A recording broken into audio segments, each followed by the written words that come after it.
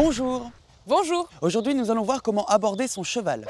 En liberté? En liberté, au box ou à la tâche, les règles sont les mêmes. Pour agir en toute sécurité et nouer une relation de confiance immédiate. Exactement. Eh bien, c'est parti Votre cheval est un être sensible. Vous adapterez votre comportement selon qu'il est par exemple confiant, intimidé, assoupi ou encore occupé à manger. Avant d'aborder votre cheval, vous devez l'observer pour voir ce qu'il fait et évaluer son humeur. Ensuite, prévenez-le de votre arrivée pour ne pas le surprendre. Appelez-le par son nom ou faites quelques appels de langue pour attirer son attention. Quand il lève la tête et vous regarde, c'est le signe que vous avez capté son attention et que vous pouvez vous approcher de lui.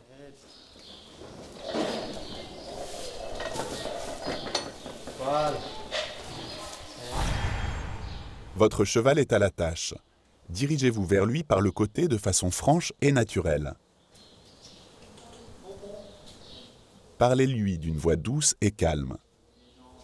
Votre cheval vous regarde, oreille dressée dans votre direction, encolure détendue, c'est qu'il est en confiance.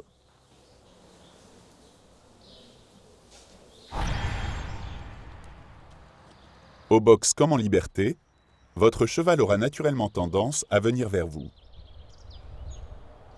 Certains chevaux aiment le contact physique, et en particulier les caresses et les gratouilles.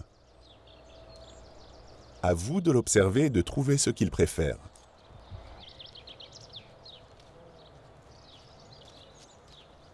Une fois qu'il est près de vous, placez-vous au niveau de son épaule pour le caresser, toujours en lui parlant d'une voix douce. Prenez votre temps et profitez de ce moment pour faire connaissance dans un respect mutuel.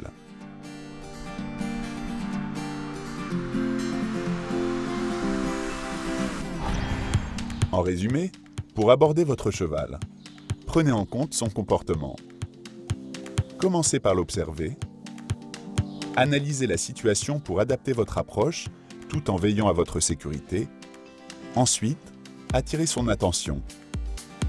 Quand il a perçu votre présence, allez à sa rencontre et prenez contact en posant la main sur son encolure.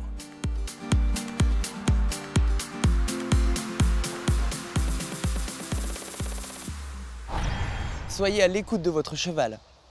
Bientôt, pour l'aborder, il vous suffira d'y penser. Décidément, le cheval, c'est trop génial.